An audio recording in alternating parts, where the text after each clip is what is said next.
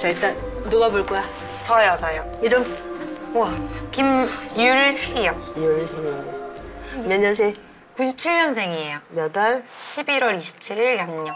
양년 시간 태어난 시간. 아, 모르는데 음. 저희 엄마한테 한 번만 전화해봐도 될까요?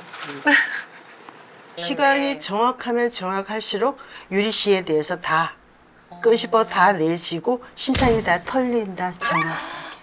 엄마, 혹시 어, 나몇 시에 태어났어?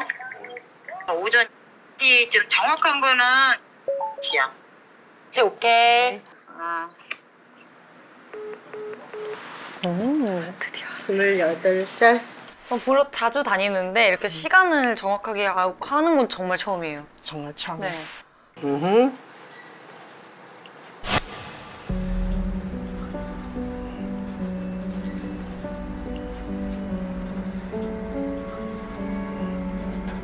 떨린다.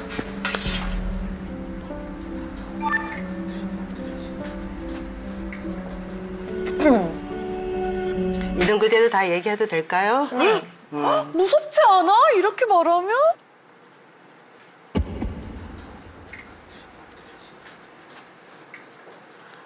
선생님 우리 고객들한테 오는 것처럼 말이라 이런 거 내가 하고 싶은 대로 다 할 거예요. 어, 너무 좋아요. 음.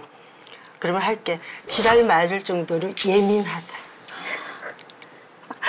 맞아요. 맞아요. 아주 예민하고 까탈스럽다고 나와죠. 어, 맞아요. 음.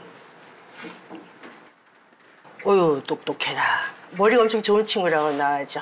임기응변, 상황 대처 능력 이런 게 굉장히 빠르다. 그리고 사주 자체를 놓고 봤을 때는 예체능 쪽이라고 나와져요. 예, 예체능 쪽. 오. 자, 이렇게 우리 인간은 누구나 다 10년 주기로 환경 변화를 하는데 유리처럼 이런 성향을 가진 친구들은 이렇게 환경이 바뀔 때 이혼, 이별, 사별을 겪는다든가 뭐야? 기사 보신 거 아니야? 전 처음에 피디님께서 언질 주신 줄 알았어요. 사진 제가- 정보를 준 적이 없대요, 지금. 진짜요? 지금 사주를 보니까 유리는 남자를 좀 일찍 알았겠다. 이렇게 나와 보이죠? 만약에 일찍 알았으면 임신을 먼저 했다든가 이렇게 해서 결혼으로 연관이 됐다든가 하면서 결혼 생활 유지는 못하겠다.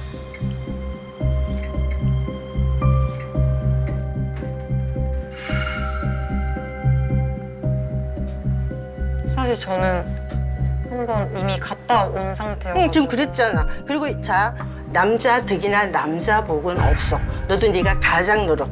내가 다 알아서 하나부터 열까지 음, 어, 맞아요. 이렇게 하고 살아가야 된다. 이렇게 보여져. 음, 못 살아. 이렇게 가거나 우울증 와가지고 맨날 약 먹는다는 소리 나왔을 거야. 아니면 정신과 맨날 왔다 갔다 해야 돼. 그럼 저한테는 이혼이라는 선택이 저에게는 잘한 잘한 거라고 봐. 잘한 거라고 못 살아. 숨이 턱 막혀서 우울증 오거나 어. 힘들었을 거야. 맞아요. 죽을 것 같았을 거야. 여기 꽉 막혀야 된단 말이야. 맞아요. 응.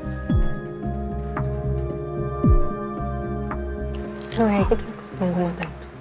자식운을 좀 보고 싶은데 응. 아이들은 저를 어떤 엄마로 생각하는지랑 좀 잘 클지 이런 어. 아이들 자기가 안 키우잖아. 켜? 안 키워요. 어. 본인 안 키운다고 나와야죠.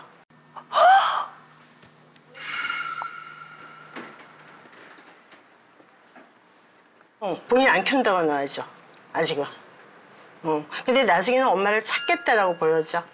근데 나중에는 엄마를 찾겠다라고 보여져. 그래서 제가 더 열심히 살고 싶은 이유가 그거. 응, 응, 응, 응. 그렇기 때문에 본인 하던 일 하면서 응, 나중에는 애기 본인 데리고 와서 뒤에서 또 스포츠 해줘도 되고 그 정도 능력은 충분히 된다라고 보면 될것 같아. 나중에 응, 충분히. 너무 다행이네요. 응. 아이들은 좀 잘 그래도 클지. 잘 커. 애기들도 똑똑하다고 나와죠. 본인 사주에서 보여지는 애들은 단지 엄마하고 인연이 지금은 없다라고 나와지. 지금은 응. 언제쯤 좀 고 고객 스님이 볼 때는 다음 대운 넘어가면 은 애기들하고 좀 편안하게 응, 가겠다.